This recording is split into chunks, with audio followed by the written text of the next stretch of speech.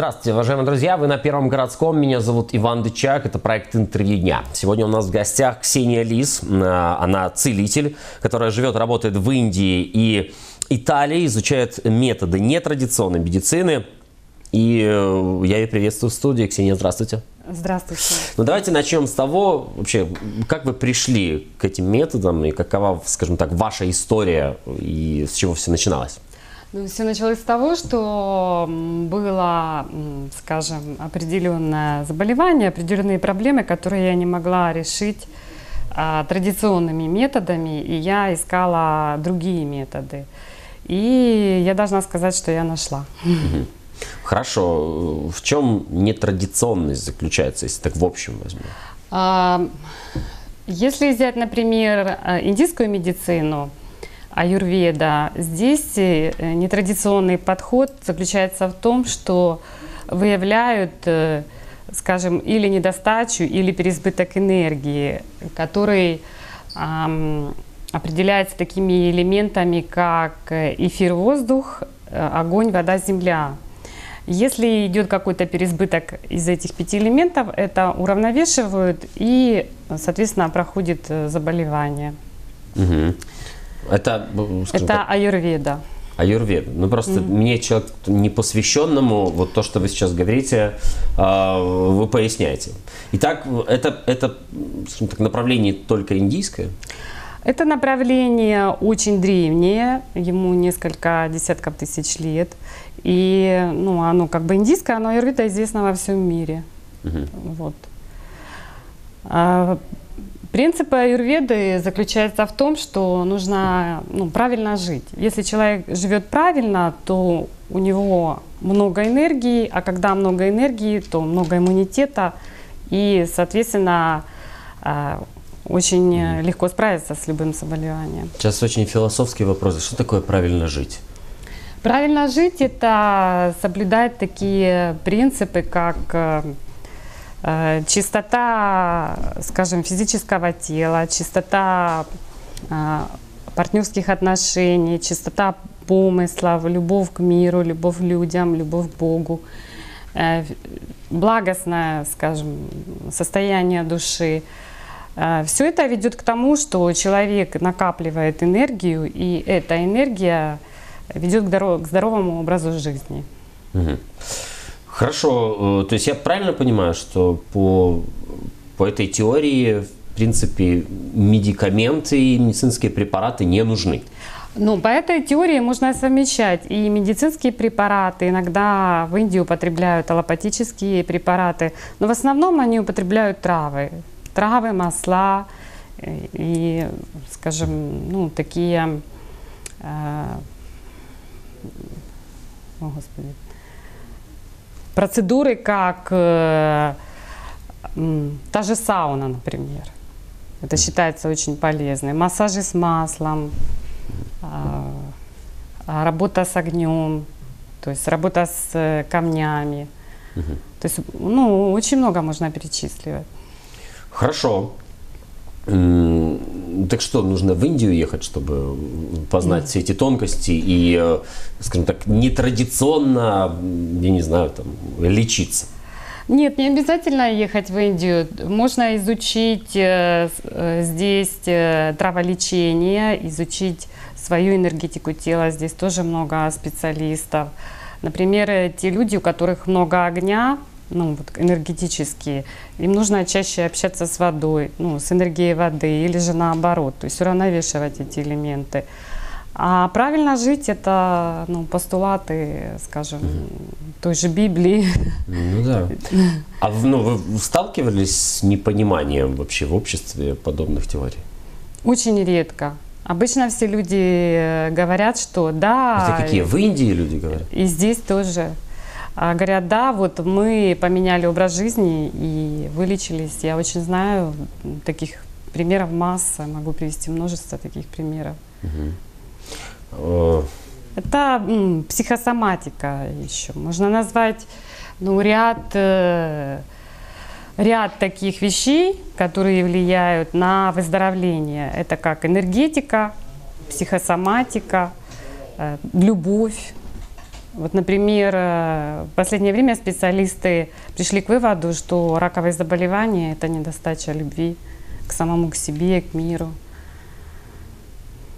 Ну, сейчас революционные вещи для меня говорите, какие-то просто из ряда, из ряда вон выходящие. Потому что, знаете, в этой студии сидели люди, которые активно борются значит, с подобными болезнями, и это были медики непосредственно. Ну, и говорят, что ну, кроме медицинского вмешательства... Ну... Ну, мы, мы приветствуем медицинское вмешательство, плюс еще и, скажем, психосоматическое вмешательство. Как дополнение. Как дополнение. То есть настоящий целитель, он никогда не скажет, не ходите к доктору, идите только ко мне. Он всегда скажет, нужно следовать, нужно следовать медицины, но нужно еще и, скажем, менять свой образ жизни, который привел к этому заболеванию. Окей. А вы целитель, и к вам обращаются больше с какими? С физическими, либо же с какими-то психологическими моментами? Больше? Ну и с физическими, и с психологическими. Очень часто мы находим в э, физической болезни, находим психосоматические, скажем, причины. Вот. То есть и, э, есть такая очень знаменитая Луиза Хей, американка, она в последнее время осветила эту проблему, что за каждым заболеванием стоит своя психосоматика. Она продала 30 миллионов книг по миру. Эти э, книжки были распечатаны на очень многих языках. Вот. И это приобрело сейчас, эм, скажем, такую тенденцию, как искать э, причина заболевания, почему у человека такая болезнь, почему это привело его э, к инфаркту, бронхиту или ну, к другим заболеваниям. Какая именно основа этого заболевания? А кто помогает разобраться в этом? Человек сам ну, должен к этому? Как нет, э, часто просто собеседование с человеком. Угу. Когда беседуешь с человеком, э, его взгляд на жизнь, его взгляд на, на любовь, на, на Бога. Вот, э, то есть очень много факторов. Вы верующий человек? Да. Вы к этому, ну, как, тоже как-то пришли ну, в веру? А, да, и я должна сказать, что я, ну, я не то что верю, я знаю, и я от этого очень счастлива. Угу. То есть это две разные вещи, верить и знать. Угу. Хорошо, давайте э, поговорим о том, что в Италии делается. Что делается в Италии? Нет, я имею в виду, что вы в этом дело. В Индии, понятно, вы э, практикой занимаетесь. Я, вы просто сказали, объявить mm. именно, что Индия и Италия. В Италии что? Да. Ну, в Италии я, в принципе, работаю больше переводчицей. Ну, так помогаю друзьям. Угу. Вот. Хорошо, а с Кривым Рогом что вас тогда связывает? Ну, то есть география это сумасшедшая. Мой... Индия, Италия, Кривой Рог, понимаете? Э, Кривой Рог – это мой родной город, в котором я родилась, который дал мне очень много. Я должна сказать, что у нас очень сильные люди и очень талантливые люди, несмотря на все трудности, которые их окружают. Итак, э, собственно, почему Индия? Почему именно в этой стране происходят подобные вещи? Ну, потому что Индия – это как бы колыбель э, философий, можно так назвать, э, мировых философий. И в Индии переплетены, а, на данный момент э, переплетены все религии мира. И я должна сказать, индуизм – это настолько демократическая религия, что она принимает и крестьян, и мусульман, и буддистов, и джайнистов, и различные другие религии, потому что они подходят к этому, что, э, скажем, Бог один, просто разные дороги к нему ведут. И в связи с этим э, там э, много различных философий, которые объясняют э, с разных точки, точек зрения а, те же вещи, как, например, медицина. То есть Индия это совершенно другая планета. Угу. А, хорошо, но вот все-таки, если нет возможности посетить Индию и той атмосферой, э, скажем так, проникнуться, вот что, что бы вы посоветовали об этом прочитать? Ну, э, Какие книги? Есть э, такие книги, как Бхавадгита, Махабхарата. Это э, сак, э, сакральные писания, это священные индийские писания, которые рассказывают э, как бы отношение человека к Богу и а, ну, рассказывают, как жить правильно, скажем так, как э, вести себя правильно в этом мире, несмотря на все трудности, которые нас могут окружать. То есть это две э, величины, самые важные книжки, как Бхавадгита и Махабхарата. Ну, ну, еще есть Рамаяна. Это этнический эпос, который насчитывает несколько тысячелетий. А, Вот такие вот книжки я бы посоветовала. А, Я знаю, что в нашем городе будет один достаточно интересный фестиваль, на котором вы будете э, выступать в качестве кого сейчас скажете? А, Что это за фестиваль? Это женский фестиваль, посвящен э, развитию женщины.